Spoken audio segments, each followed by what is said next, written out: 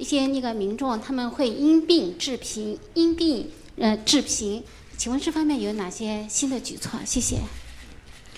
With uh, Outlook China in Hong Kong, uh, we see that some people um, are slap, elapsed into poverty because of illness. My question is, what new measures will be taken this year to address this problem? Thank you. Well, uh, illness-induced poverty is a global issue, not only in developing countries but also in developed countries. Uh, developed countries have uh, spent a lot of uh, efforts in addressing this problem. In registering these poor people, over 40% of them are uh, in poverty because of illness. So since the launch of the register for these poor people, the figure has remained stable. So this is a very important part of our work.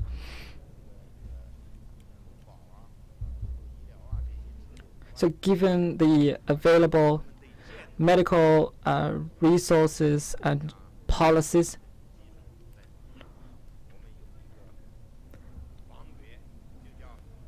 uh, we will utilize medical insurance and other channels to help these people suffering from illness and poverty.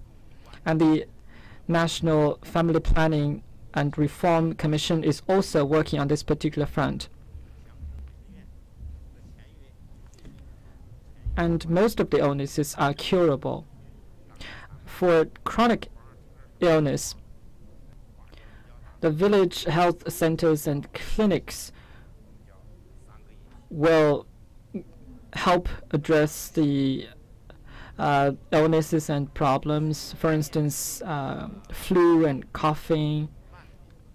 For major uh, illness, uh, relevant policies are also put into place. Last year, important investments have been made for major consequential illnesses.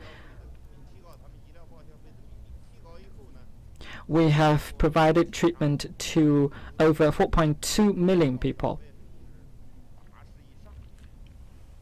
For those uh, who are included in the register of the Poverty uh, Data Bank, the medical uh, reimbursement threshold has also been uh, raised. Uh, over 80% of the um, expenses would be reimbursed.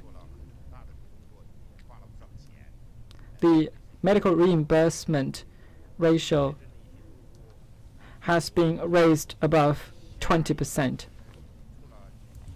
Last year, on the illness-induced poverty front, many financial resources have been uh, put into place, including private funding, fiscal uh, budget, and a lot of other resources.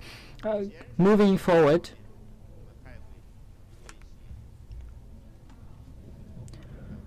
we will continue to improve the system of medical assistance to prevent uh, major illnesses and help shape behaviors and uh, lifestyles. Thank you.